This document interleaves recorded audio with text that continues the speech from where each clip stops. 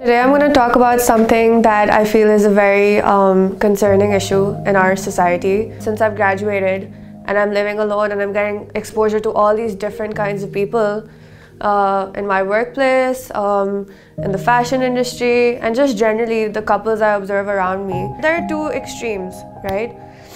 Either people are getting married when they're 22, 23, like, you know, right after graduation, or they're, they're just thinking that, you know what, I don't want to get married ever. Is it because there's too much exposure to the West and the idea of, you know, just being independent and not really uh, getting into that immediately or and just you know the idea of being polyamorous and open relationships and stuff people have seen marriages fail like people are just not they don't see happy married couples anymore or is it because you know the few things that used to keep uh, people together in a marriage like financial dependence or having children you know these certain things they're kind of fading away. Women are um, doing jobs, they're becoming more independent. They don't have to, they no longer have to depend on their husbands for uh, like you know financial assistance and people are getting married later in life they're, they're uh, you know having kids later on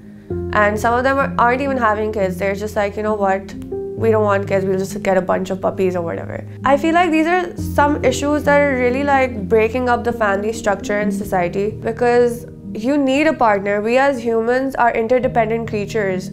Who's gonna take care of you when you're alone and old? Who's gonna carry on your genes? According to Greek mythology, you know, we were created as one, a guy and a girl were created as one person, and then eventually, like, you know, you're supposed to find your soulmate.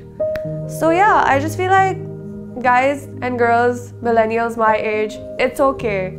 Don't worry too much, you know? Um, be positive, be optimistic, and just let things flow. Don't think that there's no hope, that you can't find a decent partner.